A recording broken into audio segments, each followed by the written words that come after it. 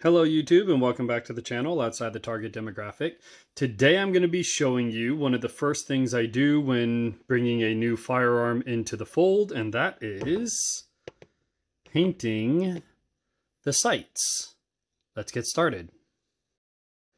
So something I've learned over the last couple years of firearm ownership is the stock sights on most of the guns I purchase are usually pretty poor. Uh, this one is an extremely poor example. As you can see, we have a very large front sight that's just a black post, and we have a rear sight that is also black. So I'm going to go ahead and close the action here. And what we're attempting to do is put our front sight blade in the middle of the rear notch. And it doesn't help that we have a black firearm with a black rear sight and a black front sight that uh, can easily become confused and difficult to focus on. So what I've learned to do, we're going to break that open, bit of a safety there. What I've learned to do is to paint the sights. So I'm going to move this guy to the side and I'm going to roll in. This is one of my training guns. This is a Taurus TX22. It's a 22 long rifle semi-automatic handgun. Uh, as you can see, we are unloaded. The magazine is empty. And if I have light shining through there, you can see there is no magazine and we do not have a uh, loaded chamber here. But what I typically do, and you can already see it's already drawing your attention in, I put the high visibility orange to the front and the high visibility green to the rear. And you can already see a marked difference between that sight picture versus um, that sight picture. And if you'll humor me, I'm going to try and get both of these in at the same time.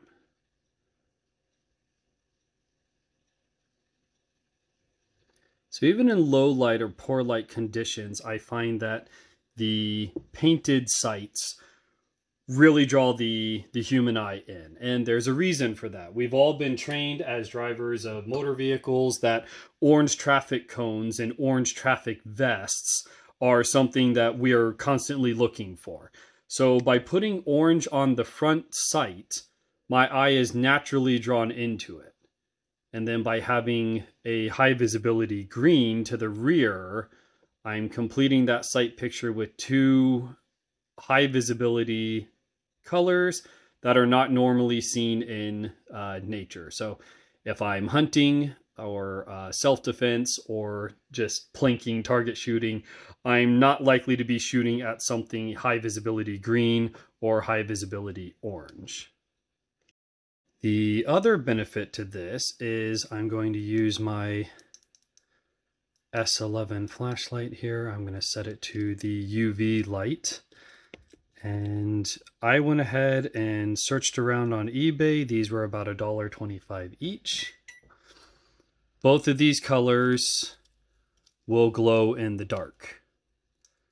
So by adding them to my sights, these aren't even lit up. This is just the ambient light, and they're already a lot easier to pick up, again, compared to... Uh, this is going to take a while, so let's see. The trick here is to aim your front sight post far above your rear sight and hopefully drop it into the notch. So we're looking at a sight picture right about like that as opposed to that. So to prove that that will continue to be the case even when it's outside of the bottle, uh, UV light charges up glow-in-the-dark stuffs much faster than a regular LED does or an incandescent light bulb. So I'm going to charge these up for a bit. I'm going to kill that light. I'm going to kill this light and you can see not only does it glow in the dark, but it maintains its color. So unlike tritium sights, or at least the two tritium sights that I have on my firearms, typically you'll just get the same color. It's typically a green for your rear and your front sight. With this paint, you could get it in whatever color you want to. Again, I've explained why I've gone with the um, high vis orange and green, but this is glowing. Granted, you have to charge it with a flashlight first, so this wouldn't be um, a replacement by any means for $150 tritium sights. But for $1.25, you can make all of your guns much easier to use in twilight brightness, uh, morning, evening, and at night. So what I'm going to do is we're going to go ahead and apply paint to the front and the rear sight on these. It's pretty straightforward. You're going to need a base coat of white times two. You're going to use whichever color you prefer. Uh, I did pick up a color of yellow as well. I didn't like it as much. It wasn't as punchy as this is. The camera does not do it justice. And then you finish it up with a coating or two of clear coat. It's um it's cheap insurance. So uh, I have the action bent right here, even if it was cocked and loaded. If the action is open, there's a safety built in where it will not fire. I'm not going to have my finger in the trigger. Um, all that to say, what we're going to be doing is luckily, and I don't know how well it's going to, there we go. The rear sight has a couple of grooves running left, right across it. And the front sight is very, very smooth. Let's see. So the front sight may be a bit tricky, but the paint is easily going to apply on these rear grooves. Now you'll notice too, there's a U notch in the rear sight there. So you have the very prominent, uh, let's see with the lighting here. We have a very prominent wall with grooves, and then we have an inlet before we have the U-notch. I'm going to try and do just the top two grooves all the way across. And instead of, this is a three dot sight, you have two to the rear, one to the front. This one was originally plastic black blade and rear sight with a white uh, dot of paint that has been drilled into the sight, so it's actually recessed. That made filling it with paint very simple. This one's going to be surface level, which is why we're going to go ahead and follow up with a coat of the clear coat. But all that to say, instead of me just putting a dot and a dot and a dot, I'm going to make this a very wide blade, a very wide blade all the way across with a very large front blade. Now, the reason I'm doing that is this is going to be for general plinking and probably used as a trainer for people who have not fired before.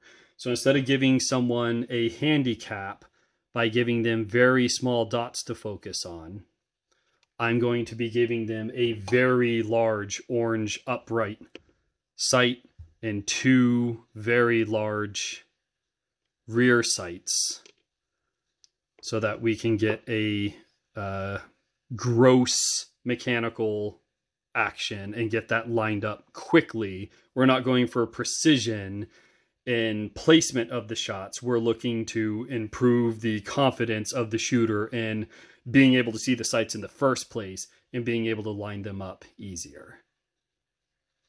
To better explain what you're going to be looking for with your sight picture, I created this absolutely totally copyrighted, but you can make your own example. It's very difficult to look down the sights at the same time someone else is and explain to them what they're seeing and what they should be seeing.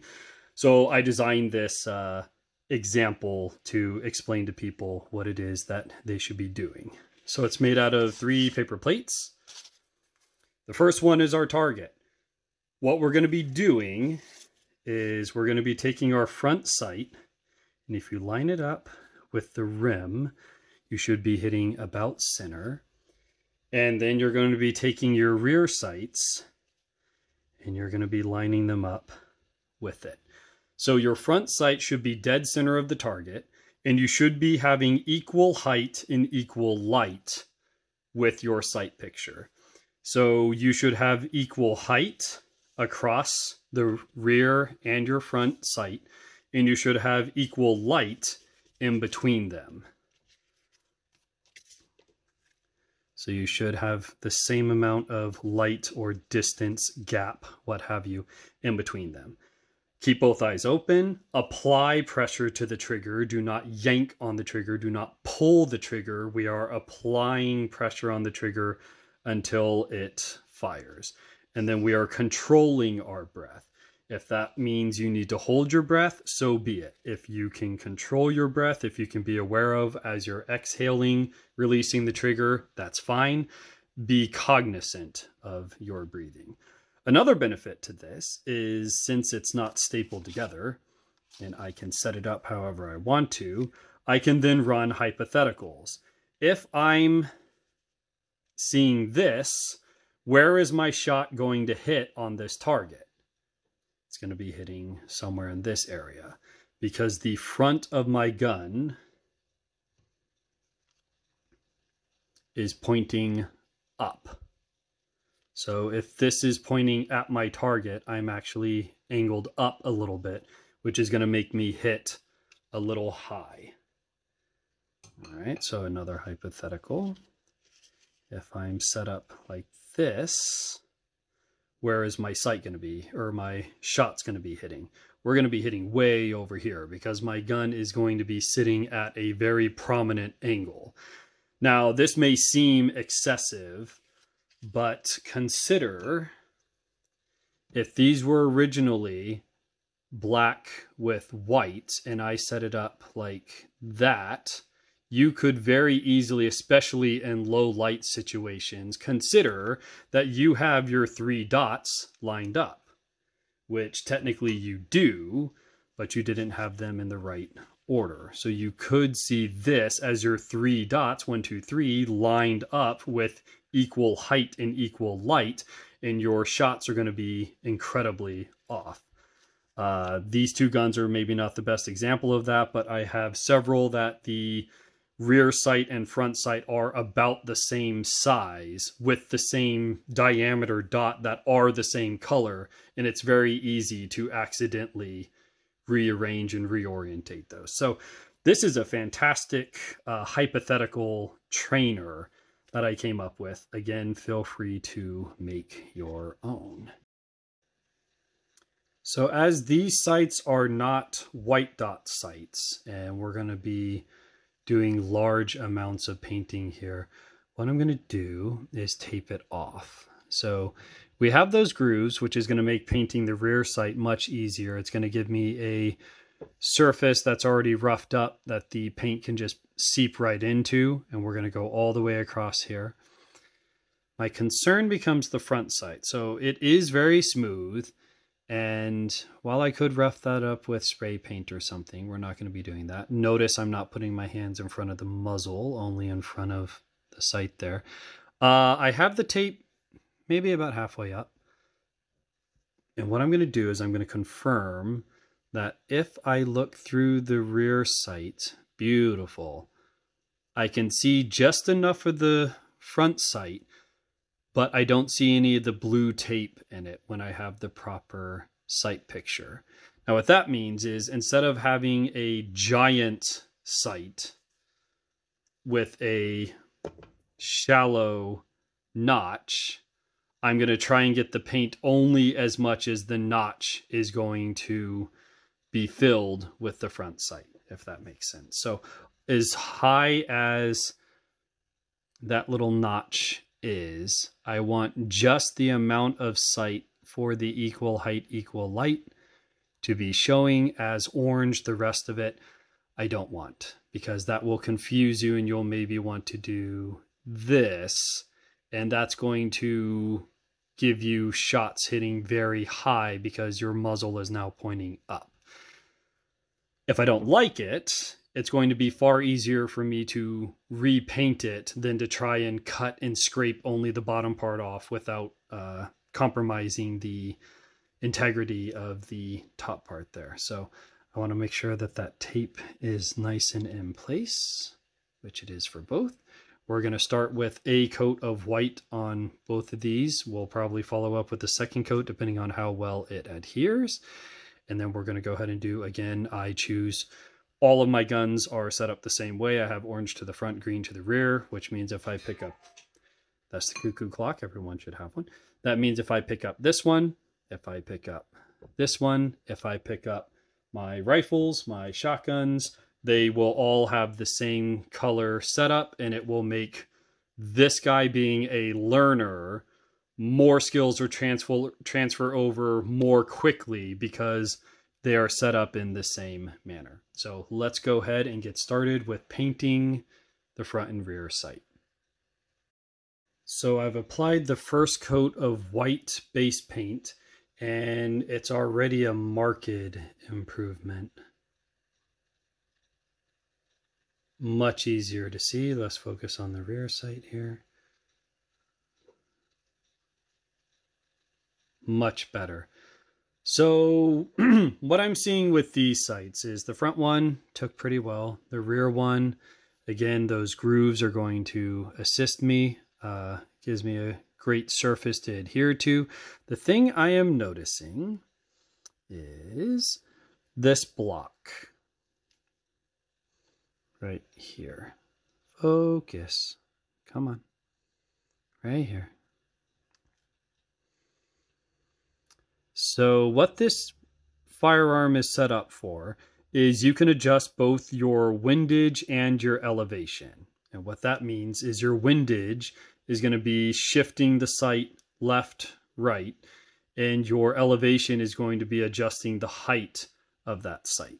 So by turning this screw, I can adjust the left right, and by adjusting this screw, I can adjust the height.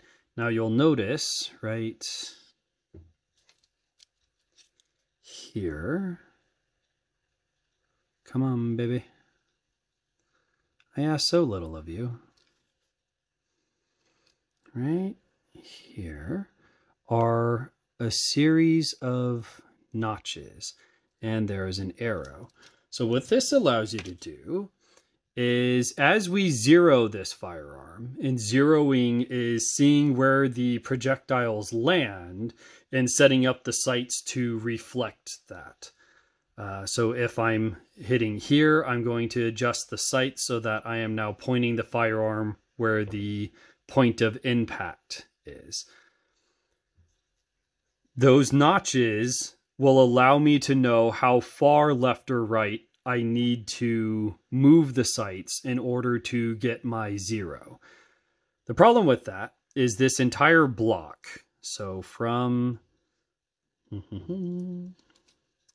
this raised portion to this raised portion is a piece of plastic that I don't know how this is going to reflect on video, but as I move that, you can see the arrow is moving towards my screwdriver.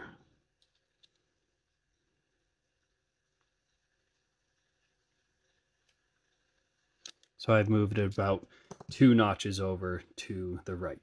What that means is every time this block is moved, the two remaining black portions, uh, let's see if we can get some better lighting here. Focus. The two remaining black portions on the rear sight are part of the rear surface of this block. So every time I move it, I'm going to be scratching that paint off, which is not what we want with a rear sight. Come on. So unfortunately, the sight picture isn't going to be perfect. We're going to have green to the rear, green to the rear, orange to the front, and we're going to have what looks to be a black spot in between it. There's really no way around that. Now what I can do is once I zero this, I can lock it down, make sure those screws aren't moving anywhere. I can go ahead and fill in those black spots and paint them with green paint so that it looks a little more continuous, a little more contiguous back there. Uh, we will see what we will be doing with that. But another benefit to this uh, pellet pistol, and one of the reasons I got it is it has a Picatinny rail already mounted to the top. So you can see there are cuts here, and then you have a length of rail running across the receiver, as it were. Uh, I will probably be dropping a red dot sight on this guy, and that's going to remove the whole equation of lining up your three individual sights. Again, taking into account how they're lined up to the target. And with a red dot, all I have to do is look through the glass, almost like a scope. In the middle of that scope, uh, let's do this. Haha. So, as long as I'm looking through the middle of my scope, there's going to be a little red dot. And as long as I put that little red dot in the middle of my target, and again, control my trigger press so I'm not snapping the gun, I will more likely than not be hitting where I tell that red dot to point because I will also be zeroing. If I am hitting here and my red dot is there, I'm going to move my red dot to the point of impact. That will make handling this firearm much simpler for people who have not shot before. It can easily be unscrewed and removed, and then I can train people on the irons. So for fifty dollars, this I'm I'm really excited about this. This is going to be really cool. This is going to be a great little starter gun, a great little plinking gun. Uh, pellets will cost you like half a cent per round, something like that. Ridiculously cheap. Fantastic trainer. Uh, I have heard that the trigger on this is just god awful terrible, which is also fantastic. The more difficult the trigger is, if you can master that, you can master any other trigger. The lighter it is, the smoother it is, the easier it's going to be. So, starting out with something a little harder is going to be actually a benefit. But we are going to try and do a trigger job to this. We are going to try and smooth it out as best we can and make it a little more useful for some first timers. So now I have two coats of my sight paint. The orange is quite prominent on the green background, on different uh, camo colors. So different colors you're going to see out as you're shooting or hunting. And then we have our high vis green, which unfortunately, uh, due to the angle of the light here, is going to be as pronounced, but that works right there. So very high vis green, even on a relatively darker green background like grass or what have you, still stands out. I'm going to try and, yeah, let's simplify things.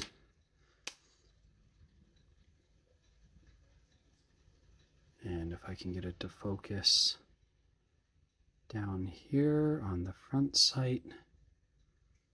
So uh, a lot higher visibility, uh, much easier to find and remove the sight alignment as uh, part of the equation, simplify it anyways, so you can focus on your target, what's beyond it, and get shots on target.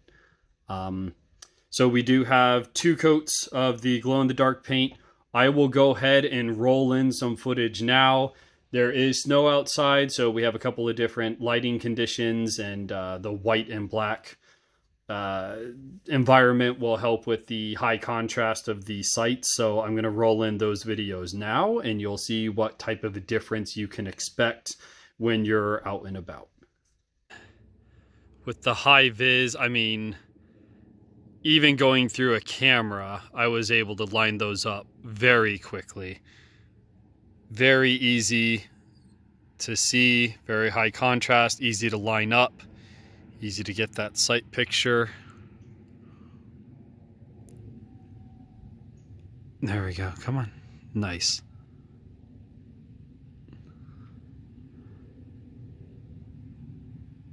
So this is a dark room with a dark carpet and I do have a window off to the left, which is why you can still see my hand and all, but even a black gun on a black carpet and dim lighting, those sights absolutely pop. And these are the same sights after I just recharged them with the flashlight.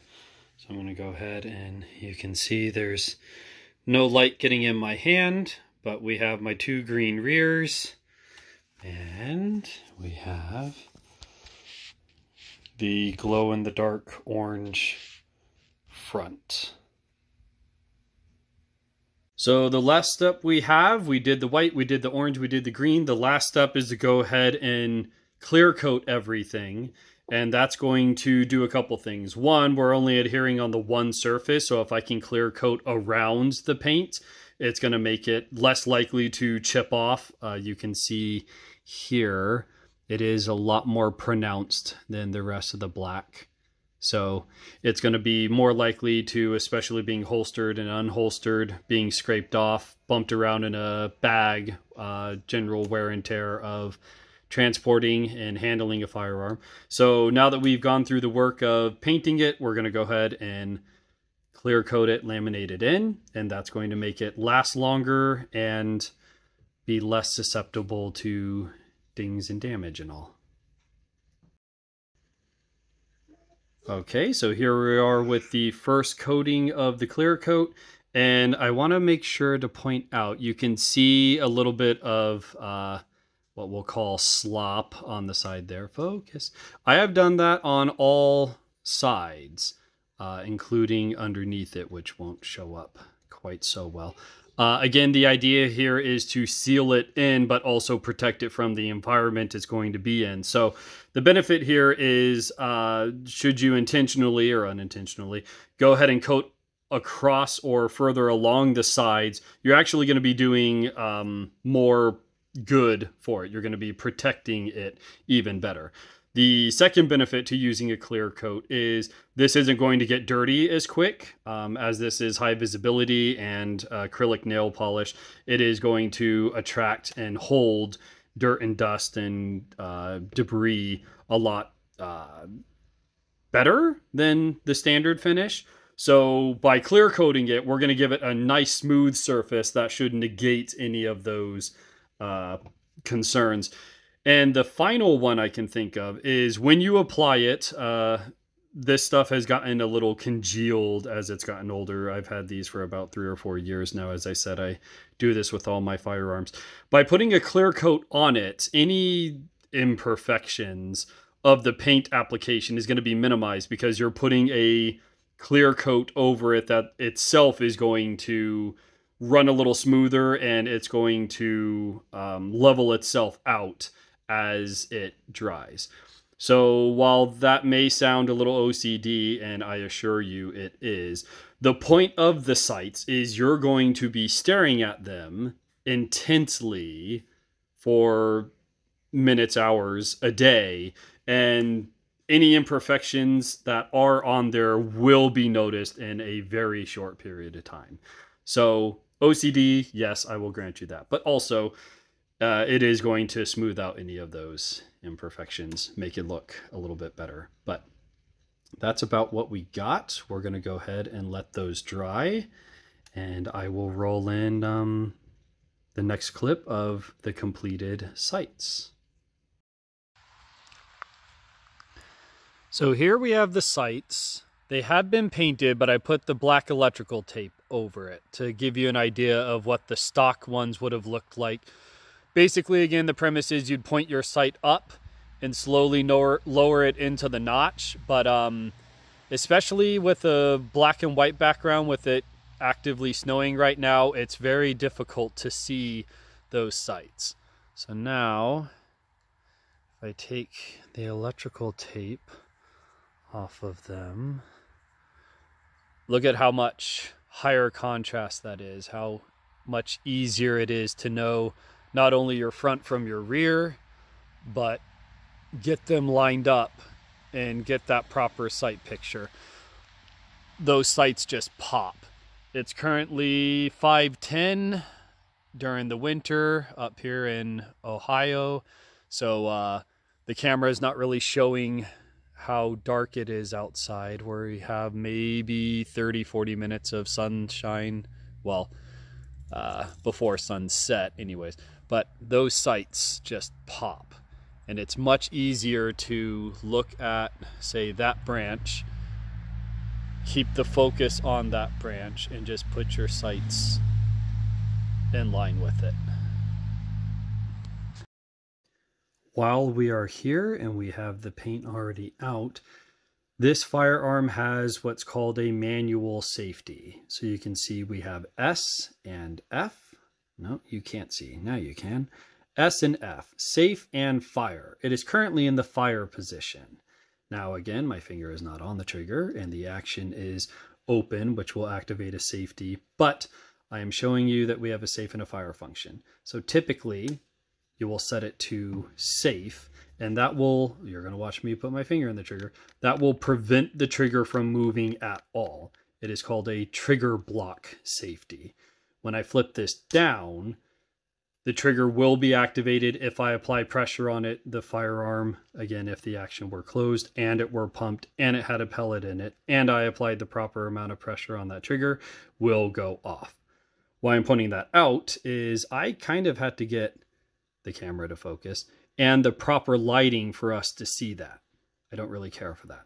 So something I have done on most of my firearms is I paint the S white and I paint the F red because white is safe and red is hot. Red is ready to fire. Red is I'm going to be destroying whatever I'm pointing this at. So I'm going to go ahead and use my white paint.